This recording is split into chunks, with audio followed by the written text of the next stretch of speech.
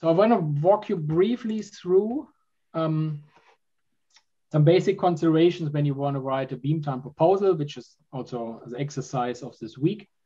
Um, some basic considerations before you actually start. Well, look obviously at all the different neutron sources that you have seen through here. And here's some by now maybe outdated list again. Um, and I mean, firstly, make yourself clear uh, what you want to do and why, just like the question that came up now, like what is actually the driver for that? Just be clear about that. And check if neutrons are the method of choice actually that also just came up in this questions.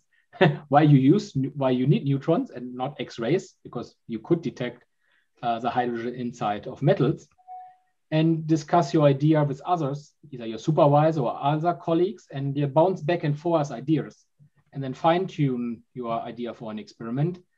And then, yeah, check again. This was a very good question, actually. Check if this is feasible, because if you have this very good idea, but maybe your sample environment will destroy this very good idea. And estimate how big can the sample size be. So do some rough estimates of how much the sample or the uh, sample environment will attenuate your beam and see what contrast variations you will have um, with different neutrons cold or thermal and or, or, for different isotopes. And there are some references that will show after this. Um, so this is just, just serve you as a reference. I will upload these slides after the lecture. There are some useful references to estimate uh, the attenuation of materials. Many of this you will have seen. And this NIST website is useful, then you can see the different scattering contributions. This is actually based on this paper uh, that is uploaded there by Sears, uh, where you can see the different scattering contributions. And here's a link to the different calculators that you can use, uh, different cross-section calculators. And there's a nice database called X4 and also JANIS books. So maybe just try to open these up. They're a bit awkward to use, I would say but you need to enter the right energy range you're interested in because these databases cover a much bigger range that we are interested in because they're also used for other nuclear applications, uh, these cross sections. And be careful when you look at this type of data. There are usually many data sets in measured at different facilities. And there might already be some, some I mean, maybe not necessarily wrong, but some dubious data sets in there as well. So just a warning, but play around with both these, these, these links. It's quite useful. And then decide if you want to do radiography and need a time series, or do you actually need tomography, or can you design your experiment that it does work in radiography? Also, like this question that just came up, if you want to study hydrogen or hydrogen embrittlement in metals, can you actually solve a relevant question if you just do radiography? I guess Robin also there is if you want to do you do want to do tomography, you have to be 3D and you have to do it fast, then there's really only one place you can do very fast tomography now, I guess, which is the ILL. Um, but if you don't need to do such fast 3D tomography, then, then it relaxes your constraint on where you go. It's always worth considering.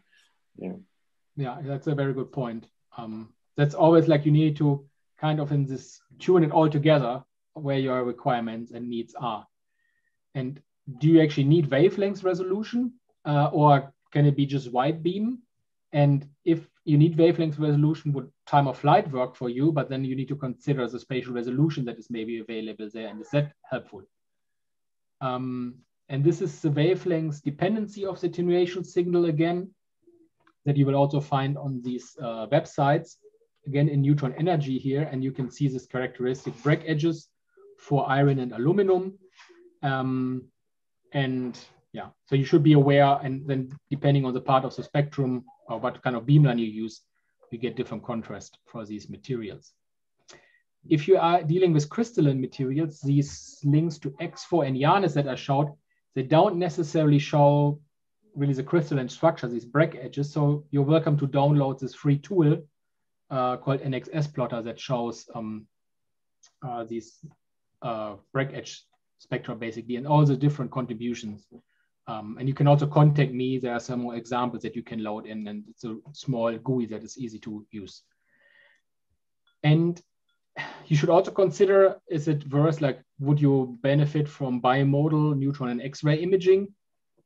And then you should of course pick a beamline that offers this. and what is the spatial resolution that you really require. Again, look at the L over D ratios. And then finally, then write a good proposal and convince the reviewers that they should give you beam time.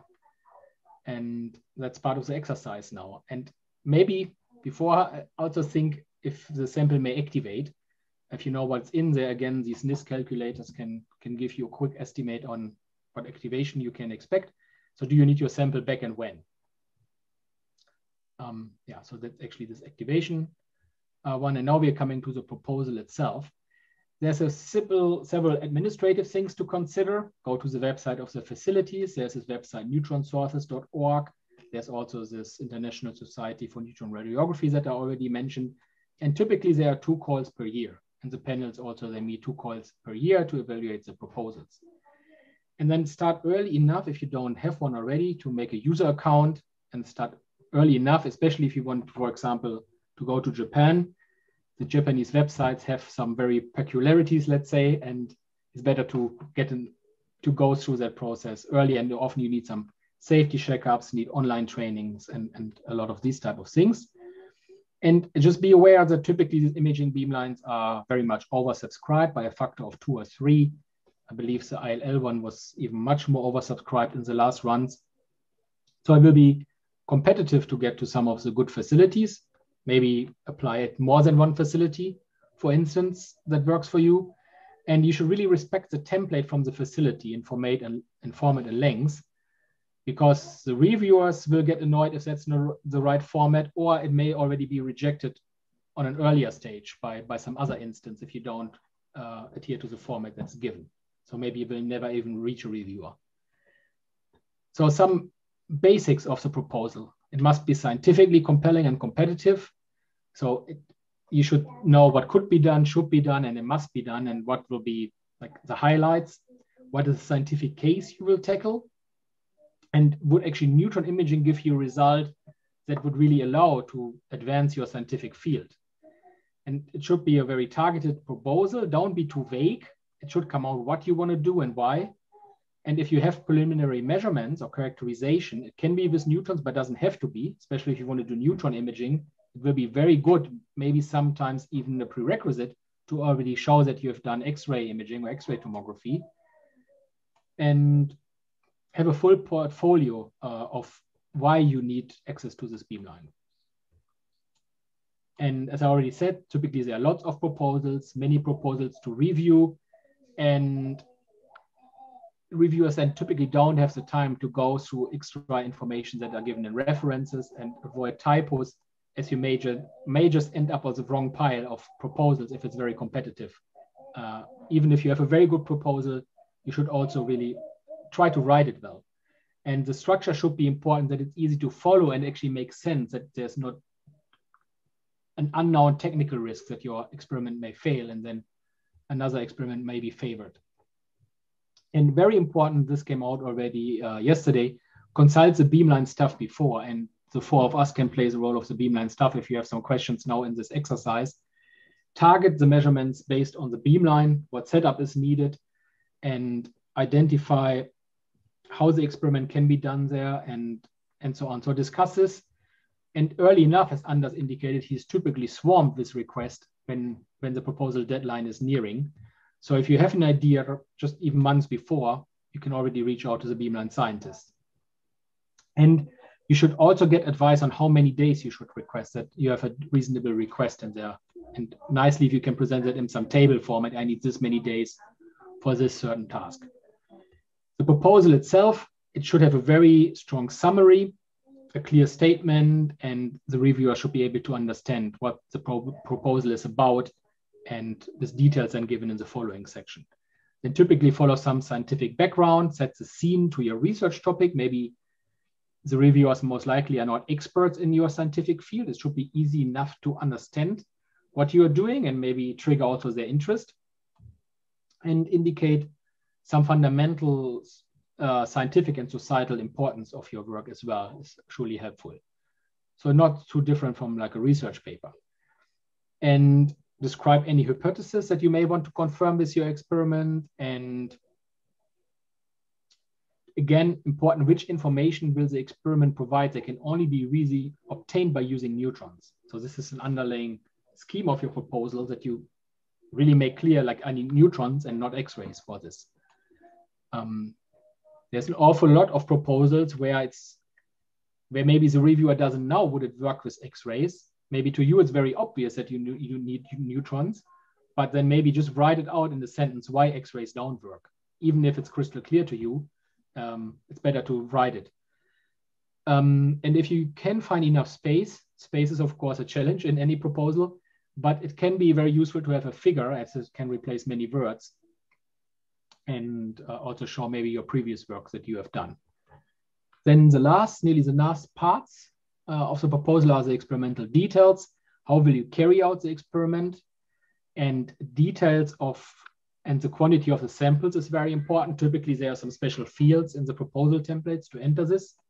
But at the end, I believe personally it's good to have like a table at the end of the proposal to highlight what samples you have, what technique will you use, and any special requirements, and just really make sure that you are appearing prepared and that not everything is just a rough idea that is not really thought through. So if you can underline that you can surely have have already the samples prepared or will prepare them. That's um, useful and make sure the technical feasibility is in place that this is actually technical feasible. If it if there's some doubt and will be brought up in the review panel uh, that it may not that you haven't contacted the beamline scientist and there's doubt about the feasibility, that's that's not a good sign, and you would be asked to contact the beamline scientist and then advise and then apply again in the next round. And what are the beamline beam time requirements? You should support the choice of this particular beamline. And as I already said, if you can um, show to calculate, give a rough estimate on uh, why, how, if you request three days, why do you need three days? I need half a day for setup and so first overnight to do this type of measurement and then another one. And this can be relatively short. So the results and expected significance uh, should be highlighted as well. No, it's not continuing. What are you expecting? Uh, come back a little bit to the summary and close the loop uh, to the end. And at the end, give some references, maybe some important milestones, papers in your field or and or papers that you have published in this field. Um, so that showing that you have already experience in this and can publish on, on that matter. So don't expect, however, the reviews to, to the reviewers actually to open and read these proposals. So be a bit clever how you put the citation in there. This is now actually going not to the proposal itself, but when you are want to do the experiment and what kind of preparations you should do there. As you can envision if you are, as you've seen in the video, fly out to Japan to do the test, there's many preparations that you should, you can refer back to this um, uh, presentation.